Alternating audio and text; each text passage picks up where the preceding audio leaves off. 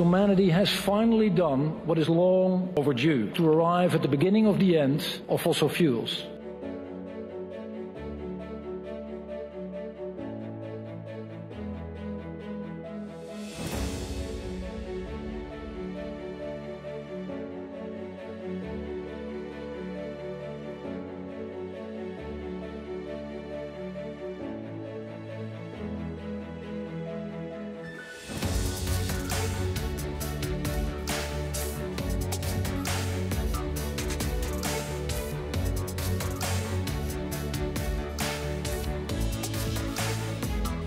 Today, the world takes an important step to limit global warming to 1.5 degrees.